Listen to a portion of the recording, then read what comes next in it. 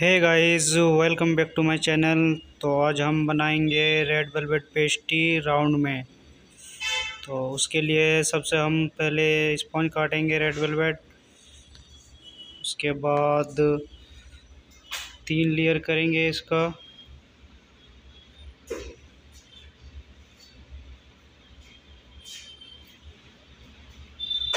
जैसे कि आप देख सकते हो, मैं सबसे पहले ऊपर का हिस्सा हटा दिया और फिर नीचे का हिस्सा हटा दिया, ताकि वो खाने में कड़वापन ना ना आए। और सबसे पहले हमने तीन लेयर काट लिया है। अब हम राउंड कटर से स्पंज को काटेंगे।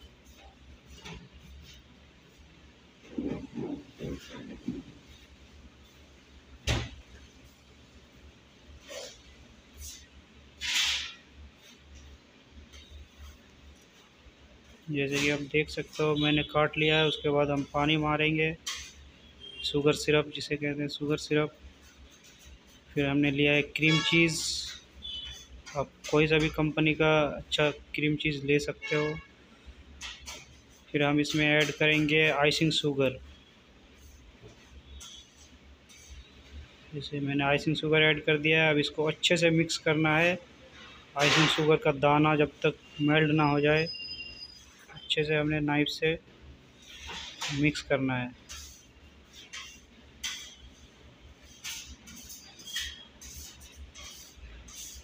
जैसे कि देख सकते हो, अब ये अच्छे से मिक्स हो गया है। अब हम उसमें ऐड करेंगे व्हिप क्रीम। हमने व्हिप क्रीम ऐड कर लिया है। अब वो भी हमारा अच्छे से मिक्स हो गया है। उसके बाद हम पाइपिंग में भरेंगे इस तरीके से।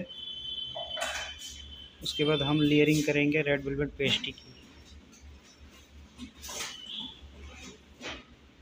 जैसे आप देख सकते हो मैं किस तरीके से लेयरिंग कर रहा हूँ। इस तरीके से लेयरिंग करना है। देन ये हमारा हो गया रेड वेलवेट पेस्ट्री लेयरिंग का हो गया। उसके बाद हम करेंगे आइसिंग।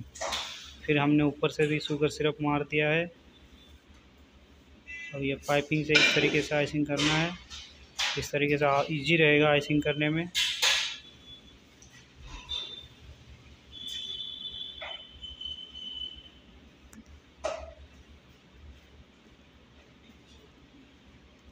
फिर हमने कंगी मार दिया है और ताकि डिज़ाइन थोड़ा अच्छा आ जाए।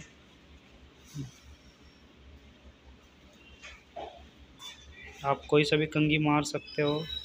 हमारे पास ये बड़ी वाली कंगी है तो हमने बड़ी वाली कंगी मारा है।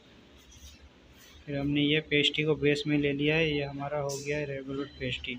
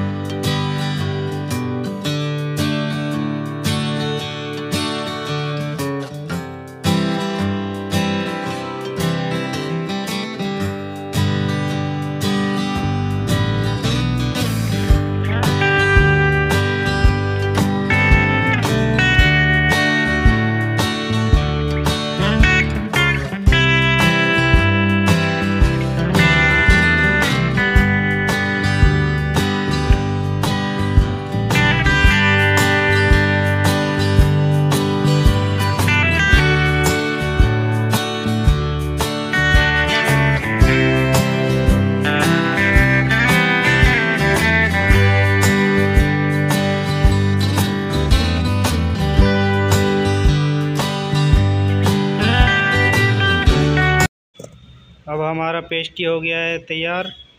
अब हम इस पर रेड वेलवेट का चूरा छन्नी से ऊपर की तरफ़ छान देंगे। इस तरीके से।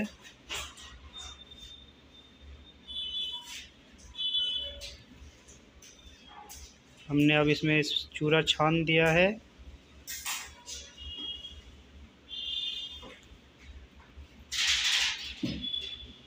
अब हम इसको जो बेस पे एक्स्ट्रा चूरा है, वो बॉर्डर कर देंगे स्केल से।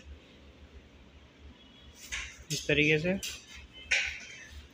तो वो बॉर्डर लुक में अच्छा आएगा।